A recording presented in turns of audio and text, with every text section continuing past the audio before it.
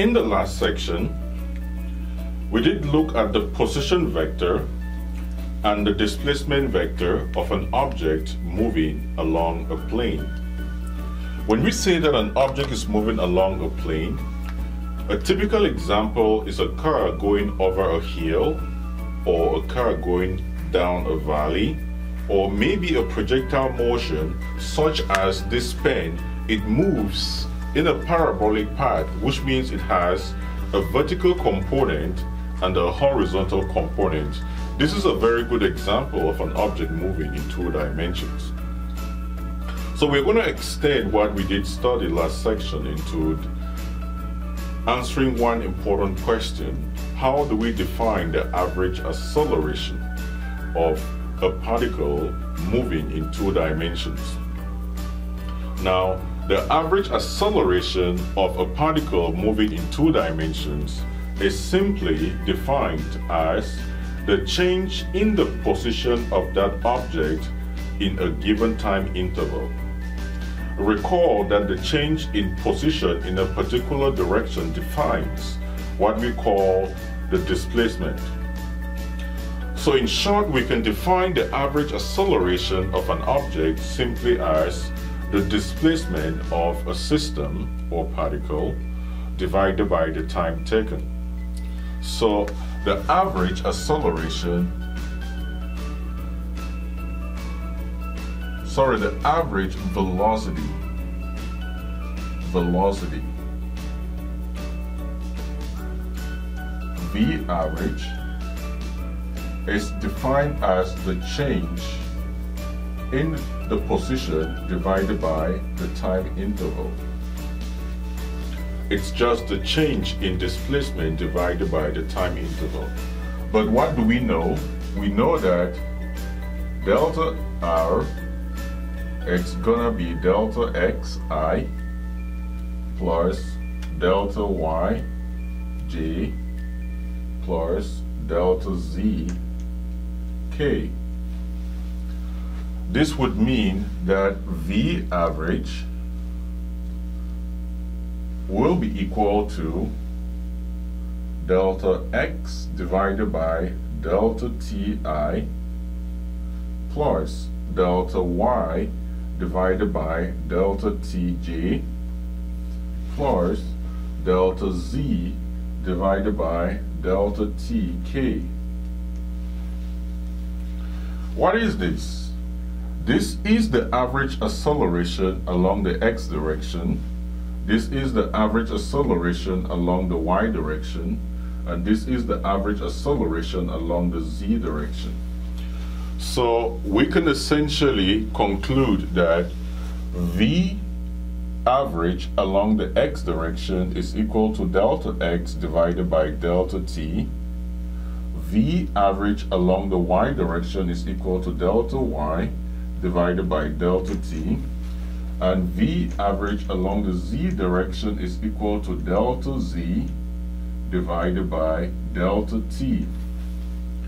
So the beauty of this process is that we can actually break down a vector such as the average velocity into the velocity in the x direction, which is a scalar, a velocity in the y direction, which is a scalar, and the velocity in the z direction, which is essentially a scalar.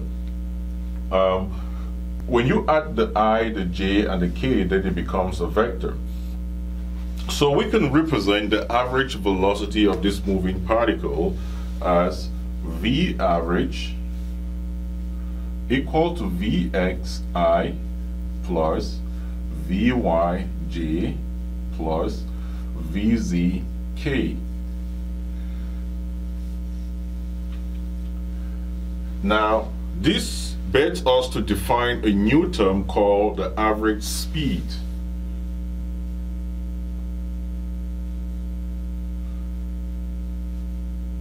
The average speed is just the magnitude of the average velocity, which is going to be equal to the square root of Vx squared plus Vy squared plus Vz squared.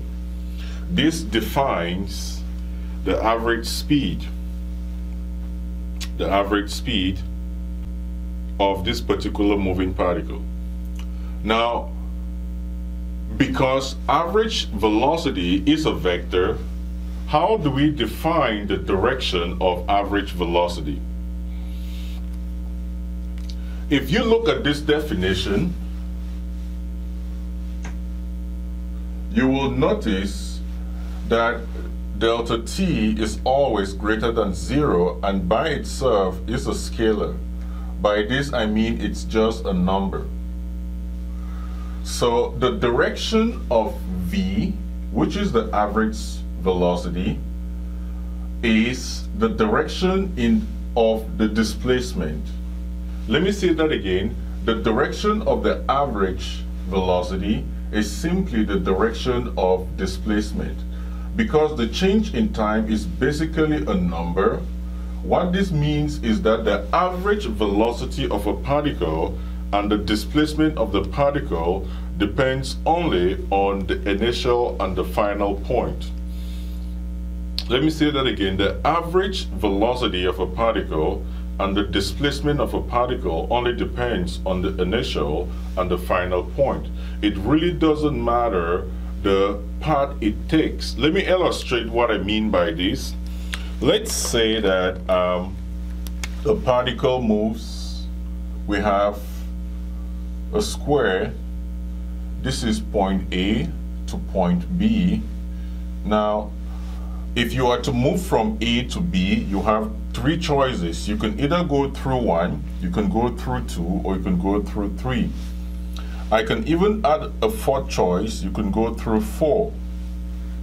You see, irrespective of the path that you will take, the initial which is point A, and the final, which is point B, remains the same.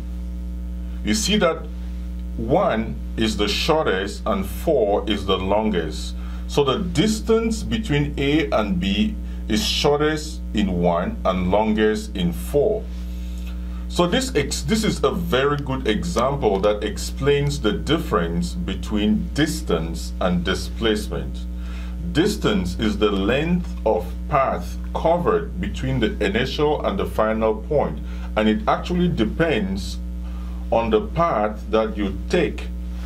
On the other hand, displacement as well as average velocity is simply does is the is let me say that again sorry about that now the distance between two points depends on the path you take I've demonstrated that here, one is, a, is the shortest, which is a straight line between A and B, and four is the longest because it's windy.